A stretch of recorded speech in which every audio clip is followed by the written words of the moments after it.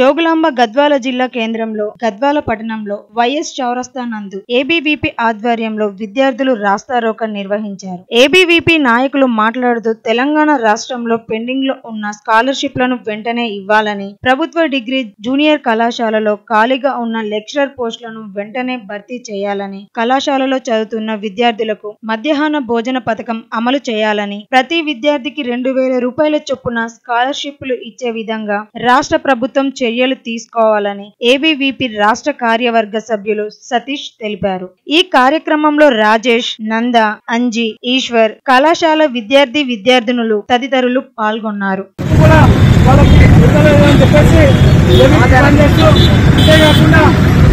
ఖాళీలో ఉన్నటువంటి లెక్కలతో మన తెలంగాణ రాష్ట్రం మొత్తం చూసుకుంటే ఏడు వందల ఇంటర్ కాలేజ్ లెక్కలతో ఖాళీ ఉన్నాయి. వీటిని వెంటనే భర్తీ చేసి విద్యార్థులకు న్యాయం చేసే విధంగా చెప్పేసి ఏమీ నేను ఎడరా నువ్వు విద్యార్థులకు న్యాయం చేయడానికి చర్యలు తీసుకోకపోతే నేను గత దిగ్గద వరకు ఎదురు పోరాడుతుంది నేను గత దిగ్గడమే ఎదురు లక్ష్యంగా ముందుకు సాగి పోరాడి నేను గత దిగ్గడకు న్యాయం చేసే విధంగా ఆలోచిస్తుందని బీసీ మధ్యని వెంటనే పెట్టాలని చెప్పేసి ఈనాడు ఏపీ పత్రాల్లో డిమాండ్ చేస్తూ మీకు కొద్ది సమయం కొద్దిసేపు సమయం కేటాయించడం ఈ సమయంలో నీవు విద్యార్థుల న్యాయం జరిగే విధంగా చర్యలు తీసుకోకపోతే నువ్వు చక్కటి పడంటే సరే ఏపీకి ఉద్యమం ప్రారంభిస్తుందని చెప్పేసి డిమాండ్ చేస్తూ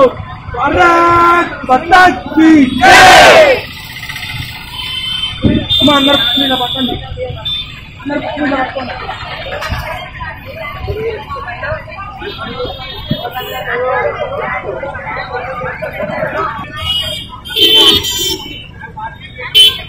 और मुझे आई पाइवट पर यहाँ पर ये तो पाइवट आ जाएगा